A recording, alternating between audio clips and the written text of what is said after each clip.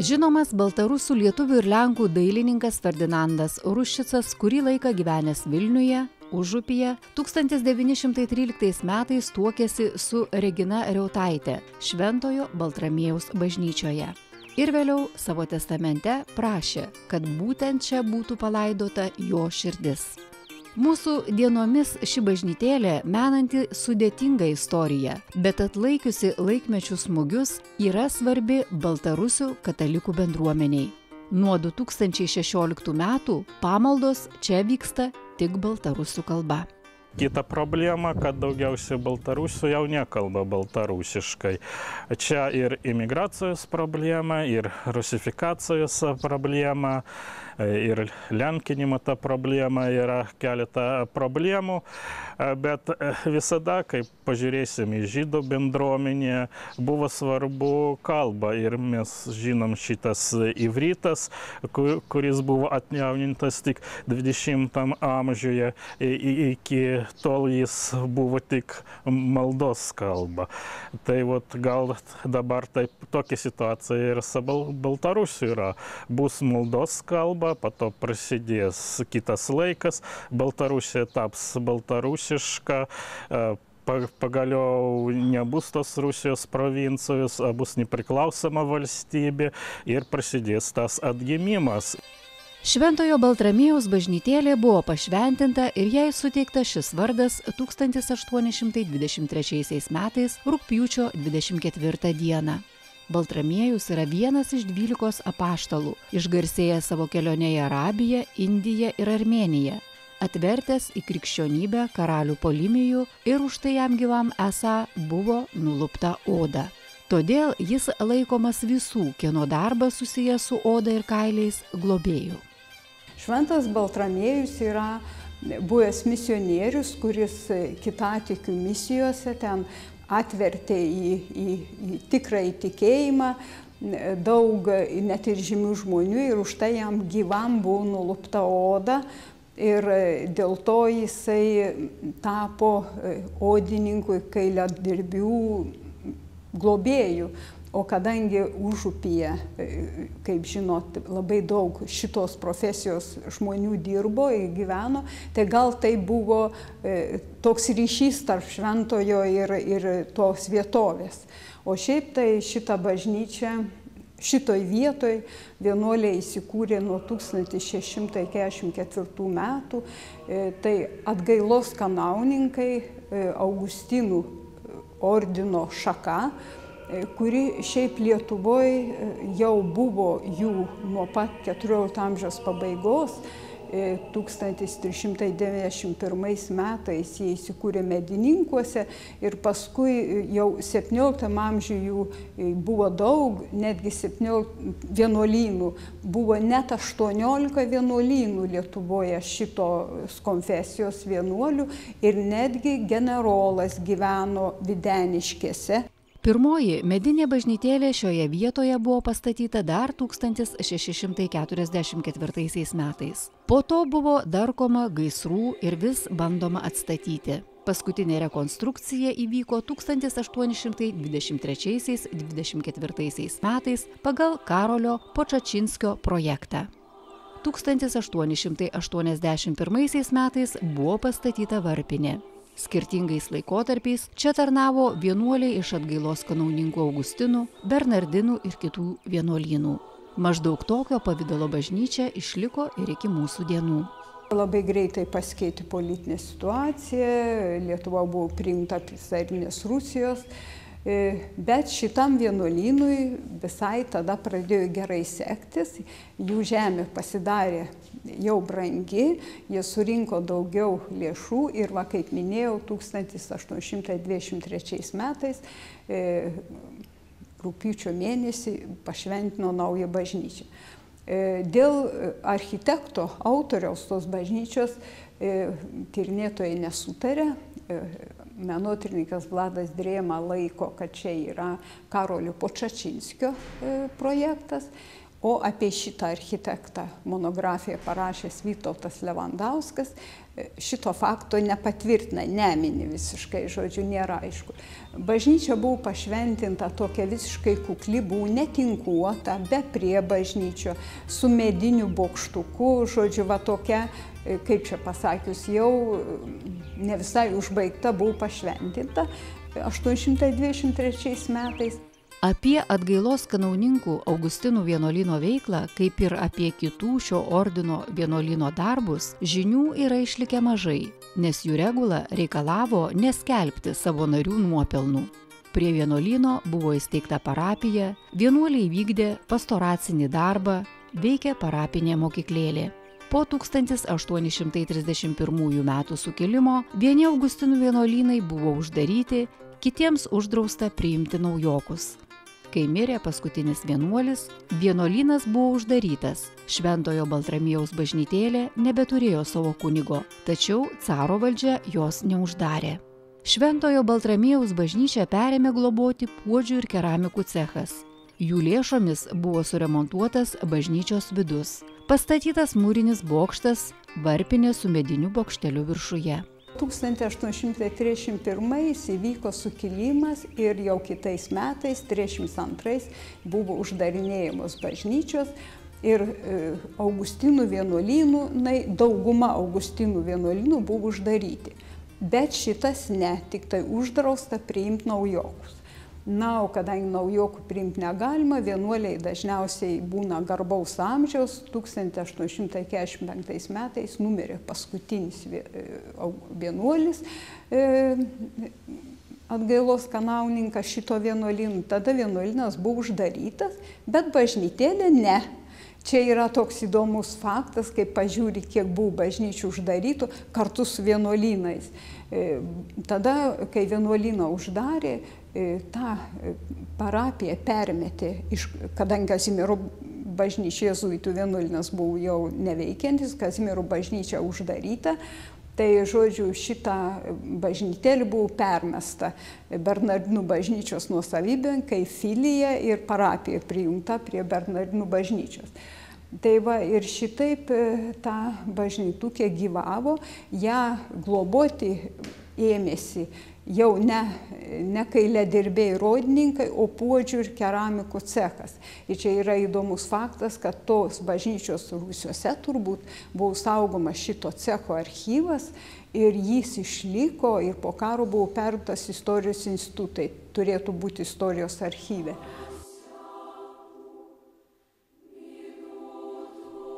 Beje, Šventojo Baltramiejaus bažnyčioje buvo net penki mediniai altoriai, kabėjo trakų dievo motinos paveikslas sidabriniu aptaisu. 1900 metais buvo pastatyti į buvusio vienuolyno teritoriją vedantis vartai tarp Užupio gatvės 15 ir 17 namų nauji altoriai buvo pastatyti būtent už to minėto puodžio keramiko cecho lėšas XIX amžiaus pabaigoje, berods 78-82 metais. Ir jau buvo ne, ne trys, kaip anksčiau, penki altoriai. Ir tada buvo pastatytas to remonto metu bokštelis, kurį mes dabar matom. Jį suprojektavo architektas Mikulskis. Ir bažnyčia buvo nutinkuota, žodžiu, jinai įgyjo tokį jau daug gražesnį vaizdą. Bokštelis tas yra ypatingai e, gražus, kadangi neaukštas, bet apatinė dalis yra mūrinė, o viršus toks delikatus medinis uždėtas bokštelis. Jis labai gražiai atrodo iš kai kurių Vilniaus aukštumų, toks iškilęs virš užupio e, to neaukšto užstatymo. Tai va ir jau ta bažnytėlė XIX amžiaus pabaigoje buvo tokia, kokia galėtų būti dabar. Šventojo Baltramiejaus bažnytėlės klėstėjimo laikotarpis 20-ojo amžiaus pradžioje sutapo su tuo, kad Vilnius tampa istoriškai svarbiu kultūriniu centru baltarusiams. Daugiaetninis Vilnius su ryškia katalikiška tradicija buvo svarbus Baltarusių traukos centras ir savotiška alternatyva rusiškai stačiatikiškam Minskui. Pavyzdžiui, Baltarusių tautos atgimimui svarbus laikraštis Naša Nyva 20-ojo amžiaus pradžioje ir vėliau buvo leidžiamas būtent Vilniuje, taip pat katalikiška Baltarusių spauda. Čia prasidėjo baltarusiškas atgimimas, nu ir taip sutapo, kad dėl tos inteligencijos daugiausiai buvo katalikų. Žinoma, kad šiaurėje ir vakaros Baltarusijoje daugiausiai yra katalikų, nu kur arčiau ten ir važinėja. Ir toks, čia galima pasakyti, buvo įsikūrusi toks ir bal, baltarusiškas katalikiškas centras. Galima čia dar pabrėžti, kad dar XIX amžiuje, ypač čia Vilniuje, išėjo pirma maldos knyga baltarusių kalba. Jei dar galima kalbėti ir apie 1863-64 sukilimo, kur irgi daugiausiai buvo katalikai, kaip mes žinome, tas ir Kostas Kalinauskas ir dar kiti, tas pats Kostas Kalinauskas ir rašė ir kalbėjo, kad Baltarusiai turi būti ne ortodoksai pravoslavai, o katalikai. Ir kada prasidėjo 20 amžiuje baltarusiškas atgimimas, prasidėjo ir, galima pasakyti, tas atgimimas ir katalikų bažnyčiai, kada prasidėjo tas pamaldos baltarusiškai. 1913 metų buvo išleistas pirmas baltarusiškas katalikas, katalikiškas laikraštis, kuris taip ir vadinasi Belarus Baltarusės. Buvo išleista maldos knyga Bog s nami, Dievas su mumis. Vienas iš labiausiai nusipelniusių baltarusių tautai tai kunigas Adomas Tankievičius. Jis buvo vienas iš Skorinos baltarusių spaustuvės įkūrėjų Vilniuje. Ši spaustuvė veikė 1926-40 metais. Jis inicijavo ir baltarusių katalikų leidyklą. 1828-39 metais Vilniuje kunigas leido ir redagavo baltarusišką laikraštį Krišinskaja Dumka. Laikraštis buvo katalikiškos pakraipos, ėjo lotiniškomis raidėmis. Lenkų okupacinės valdžios laikraštis buvo persekiojamas, nekarta konfiskuojamas, o leidėjas baudžiamas. Stankievičius taip pat leido baltarusiškus laikraščius, kuriuose atsispindėjo įvairios politinės pažiūros. Jo likimas betarpiškai susijęs su Šventojo Baltramiejaus bažnyčia, kurioje jis ir buvo areštuotas simbolis didelis, kad Adamas Stankievičius tarnavo Šventą Baltramėjus bažnyčioje. Ir iš tos bažnyčios buvo areštuotas 49 metų ir ta bažnyčia buvo uždaryta. Ir dabar, vat, kaip kažkoks simbolis, ypač šitą bažnyčią ir tapo ten buvo atiduota baltarusiams ir dabar ten vyksta pamaldos tik baltarusių kalba. Galima pasakyti, kad svajonė Adamas Stankievičius pilnai įsipilnė jam. Gal buvo ir pačiam sunku patikėti, kad ten kažkada bus baltarusių bažnyčia.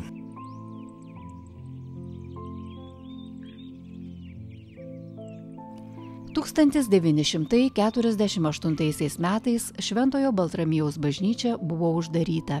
Trys mediniai baroko laikmečio altoriai iškeliavo spėjama į Nemenšinės Šventojo Arkangelo Mykolo bažnyčią.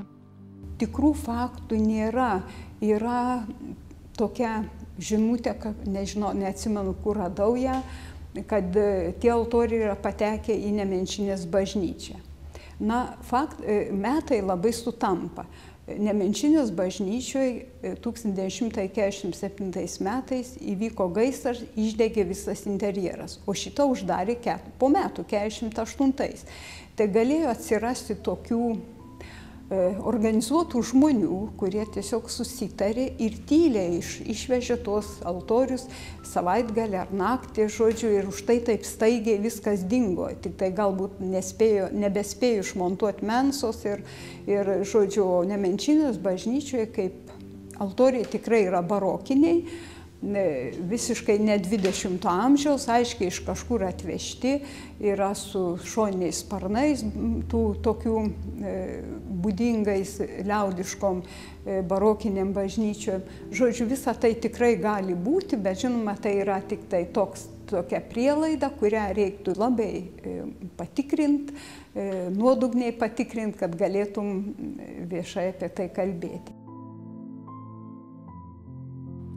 Sovietmečiu staiga ištuštėjusioje bažnyčioje buvo įsteigtos Vilniaus dailės kombinato skulptūrų dirbtuvės. Bažnyčia augo priestatais, kuriuose buvo įrengtos studijos. Studijomis pavirto ir choras, ir zakristyje. Įvyko perstatymai, išnyko vertybės. Po antro pasaulinio karo naujoji valdžia 1948 metais ją uždarė ir perdavė dailės kombinatui, kad čia įsisteigtų skulptūrų dirbtuvės. Ir skulptorius Gedminas Jokubonis prisiminimuose rašo, kaip jam skulptorius Bronius Višniauskas pasakojo apie tos bažnyčios perėmimą.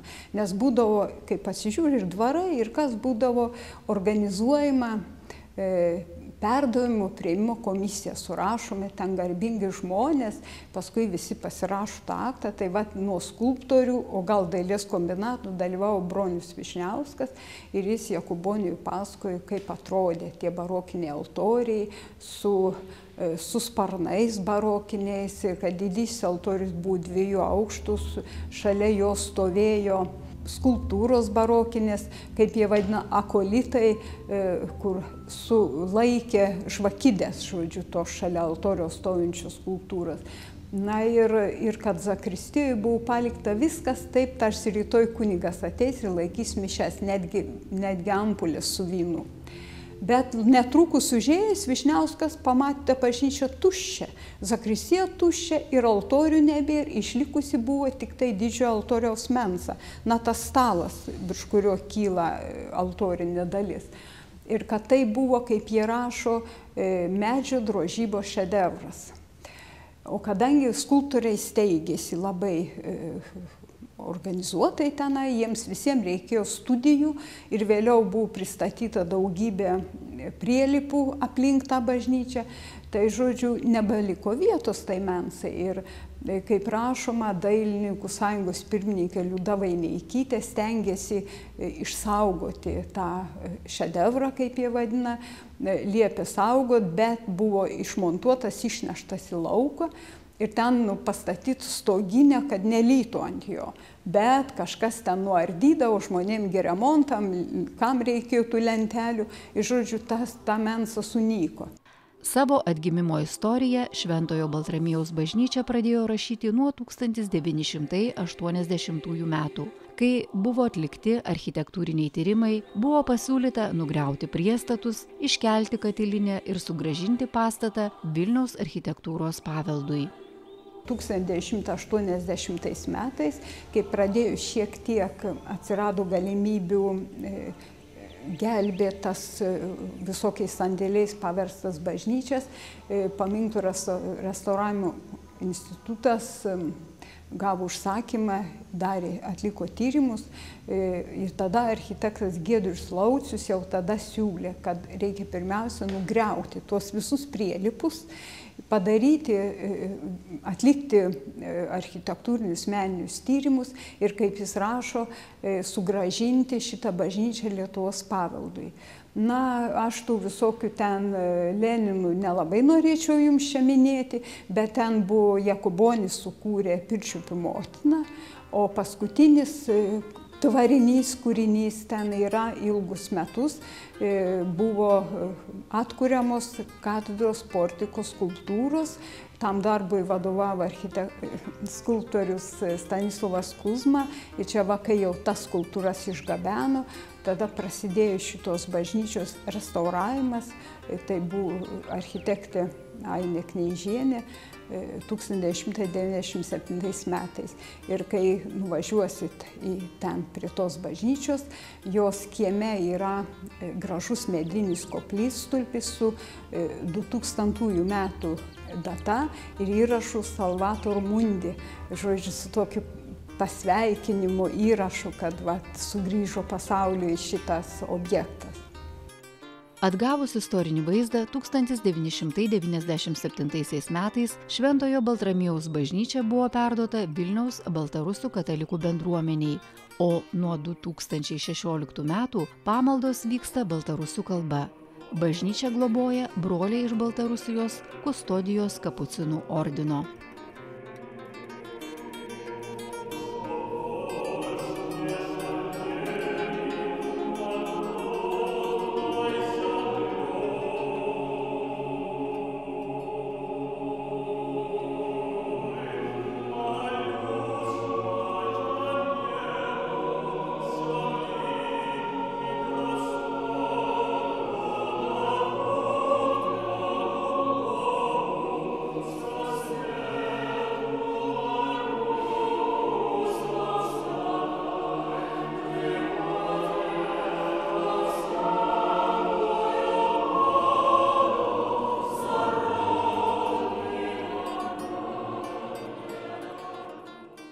Dabar situacija yra tokia, kad e, pamaldas baltarusių kalbą mes turime.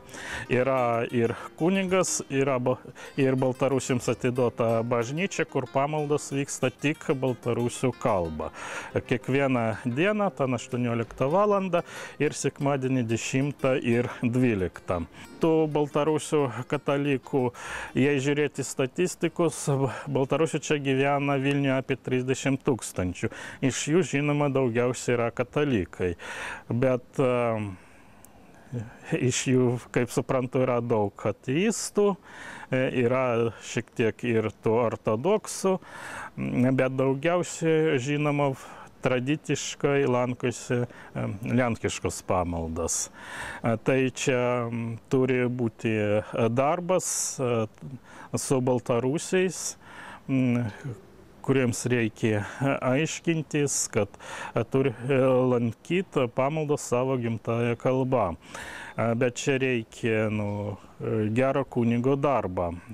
Gaila, bet vat, šitas dabartinis kunigas, nu, kapucinas, jis nelabai domisi, jis praktiškai laikė tik mišius baltarusių kalbą ir nuo, nuo to jo darbas nustoja.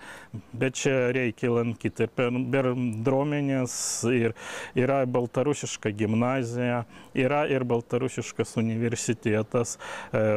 Galima nuo to pradėti, reikia ten lankytis, būtis, o ne būti uždraustų. Toks laikas, kad pati parapiečiai jau neateis, jau ne 20 amžiaus pradžia, jau 21 amžius ir žmonės žiūri gyvenimą kitaip. Nepriklausomos Baltarusijos Respublikos idėja iki šiol gyva. Dar 20-ojo amžiaus pradžioje Vilniuje užsimesgęs kultūrinis švietimo darbas, palaikantis Baltarusių identitetą, sėkmingai vyksta ir dabar. Šiame procese labai svarbus tikinčiųjų bendruomenės ir maldos namų susitelkimas vardan baltarusių kalbos išsaugojimo, demokratinių vertybių puoselėjimo čia ir pačioje Baltarusijoje. Baltarusija vėl suskaldėsi ir politiškai. Vieni palaiko Lukašenkos režimą, kiti nepalaiko. Ir čia irgi problema yra. Ir kaip mūsų bendruomeniai mes nekokie neišdavikai, kaip buvo nuo tos Baltarusijos liaudės Respublikos idėjos ir fundamentų, taip ir yra mums svarbi balta, raudona, balta vėliava ir uh, vytis šitie yra mūsų simboliai ir baltarusių kalba. Ir po to raudoną žalią vėliavą mes niekada neeisim ir dėl to, nu, žinoma, turime problemų su Baltarusijos valdžia, jokio palaikymo neturime, nu ir gyvenam savo jėgomis. Iš vienos pusės sunku išgyventi, iš kitos pusės mes nepriklausomi ne nuo Baltarusijos ir gyvenam taip, kaip mes norime ir kalbame taip, kaip norime kalbėti. Mes neturime šito ribojimo, mes laisvi ir gal to laisvė geriau nei ta kažkokia, nu, neaišku, tos 30 srebrininkų, kaip vadinasi.